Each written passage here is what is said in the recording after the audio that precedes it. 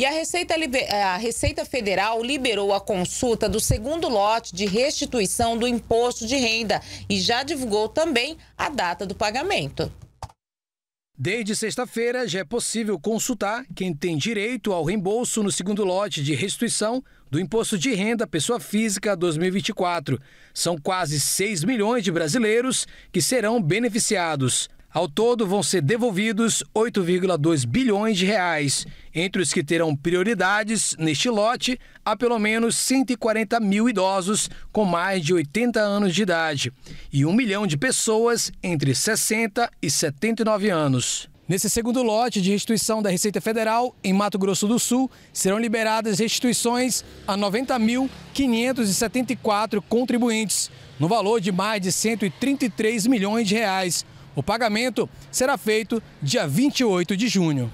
O delegado da Receita Federal, Zumilso Custódio, explicou que é importante fazer a consulta para saber se o contribuinte caiu na malha fina ou se tem algum valor a receber.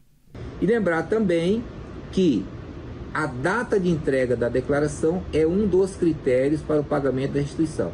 Para saber se a restituição foi liberada, acesse a página da Receita Federal pelo site gov.br barra Receita Federal ou pelo aplicativo Meu Imposto de Renda.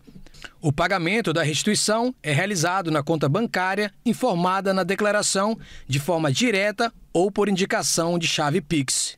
Caso o depósito não seja feito por algum motivo, os valores ficarão disponíveis para resgate por um ano no Banco do Brasil, no site bb com.br ou pelo número 4004 0001. Após esse período, o valor pode ser requerido pelo ECAC no site da Receita Federal.